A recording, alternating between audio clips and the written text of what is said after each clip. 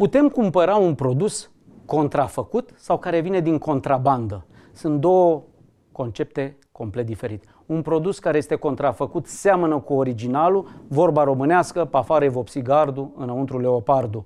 Produsul din contrabandă este un produs original care este introdus pe teritoriul țării fără a plăti taxele vamale, dar nu ăsta este lucrul poate cel mai important. Faptul că a intrat fără a avea o trasabilitate, vine dintr-un spațiu din afara spațiului Uniunii Europene de cele mai multe ori, fără a avea normativele de securitate și de siguranță europene, pe cealaltă parte sunt produse care sunt uh, transportate în condiții improprii, sunt uh, transportate fără a avea o monitorizare a transportului din punct de vedere al temperaturii, din punct de vedere al depozitării. Și atunci ne trezim că vom avea haine sau vom avea produse agroalimentare din contrabandă, originale, dar care sunt neconforme și ne pot face rău sănătății, iar pe cealaltă parte, produsele contrafăcute, care sunt produse care încalcă drepturile de proprietate intelectuală, dar care nici măcar ceea ce scrie pe etichetă nu corespunde în produs. Nu cumpărăm produse din contrabandă, nu cumpărăm produse contrafăcute. Iar pentru acest lucru ar trebui să spunem un nu hotărât, nu din perspectiva neapărat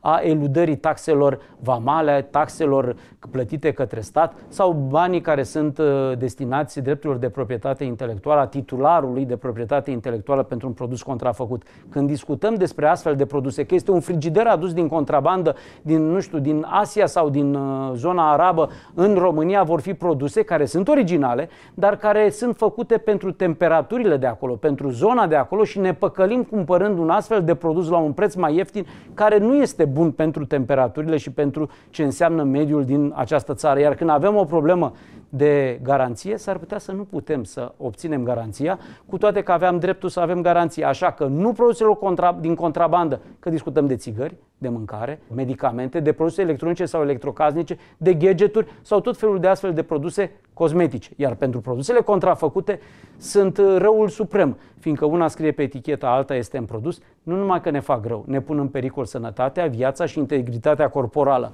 Avem aplicația gratuită Infocons, unde avem sistemele de alertă, unde găsim și produse care ne pot face rău, atât ca și sănătate, dar și ca integritate corporală. Avem sistemul SOS în cadrul aplicației gratuite Infocons cu toate numerele de urgență și putem face o sesizare, o reclamație și pentru produsele de, uh, care vin din contrabandă și pentru produsele care sunt contrafăcute, spunem un nu hotărât atât contrabandei, stop contrafacerii, alegem responsabil, depinde de noi să avem o viață sănătoasă, atât noi, copiii, familia, părinții și bunicii noștri.